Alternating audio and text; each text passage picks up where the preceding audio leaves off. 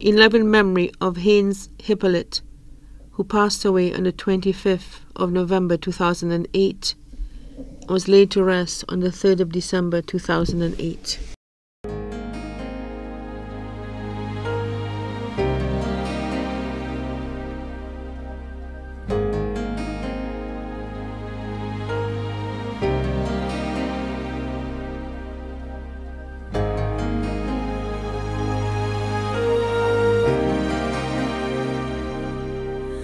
When I think back on these times and the dreams we left behind, I'll be glad cause I was blessed to get to have you in my life. When I look back on these days, I'll look and see your face.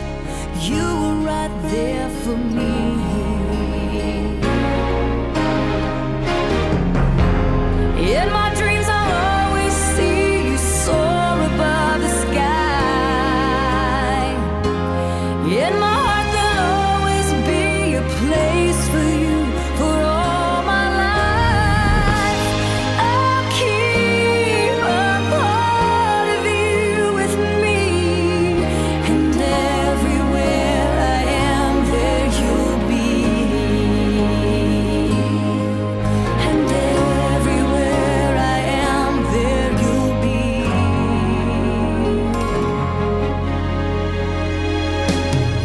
Show me how it feels to feel the sky within my reach?